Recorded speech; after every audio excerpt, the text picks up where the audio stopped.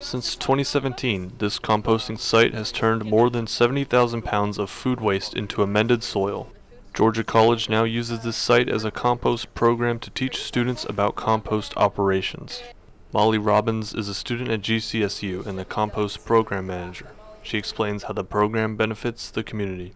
Compost is just a way to love our community um, because really it's all about regenerating the land um, and really pouring back into the people who um, live in it, which is just such an incredible thing Yes. that we're grateful to be part of. The site is ran by an all-female team that diverts roughly a thousand pounds of food waste a week into compost.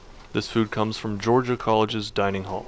Chief Sustainability Officer of Georgia College, Lori Hamilton, says one man's trash, or in this case, one woman's trash, is another woman's treasure. I think it's a good program to divert as much from the landfill as we possibly can. So I think um, we're doing a great job here, and it's turning it into something that we could use. We do use it in in our garden, which is out at West Campus.